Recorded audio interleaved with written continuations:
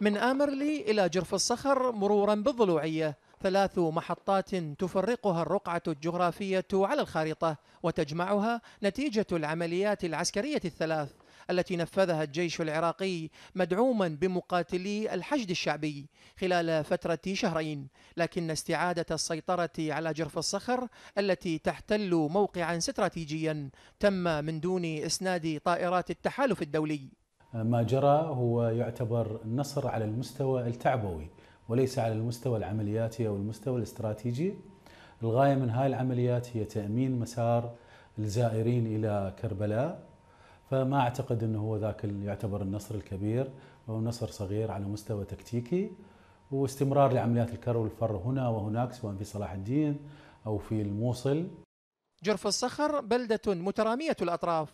تقع شمال غرب محافظة بابل ظلت تحت سيطرة المسلحين لسنوات ولم تكن عملية استعادتها سهلة نظرا لطبيعة المنطقة وتعقيداتها جغرافيا وتداخل البساتين بينها وبين المناطق المجاورة لها على امتداد 45 كيلومترا. حتى نكون أكثر إنصافا فيما يبدو والمعلوم بأن الملف الأمني هو ملف سياسي بامتياز في العراق وحسب. وبالتالي نرى بأنه تحسن الإدارة السياسية وتغير إطارها العام مع ضغط إقليمي ودولي اشترط أن تكون هناك حكومة وحدة وطنية وهناك وزيري على رأس هرم آه، السلطة في وزارة الدفاع والداخلية هو من أعطى دافعا وعزما جديدا لتلك القوات أن تستعيد بعض العافية وليست عافيتها بشكل كامل.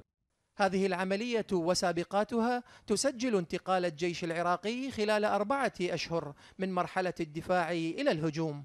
تخطط القيادات العسكرية للتقدم صوب الفلوجة كمرحلة ثانية بعد جرف الصخر وهو تقدم باتجاه مناطق كانت تحت سيطرة داعش منذ نحو عامين فيما يكرر مقاتلو داعش هجماتهم على عامرية الفلوجة التي لا يفصلها عن الفلوجة سوى 20 كيلومترا من جهة الجنوب. طارق ماهر سكاي نيوز عربية بغداد.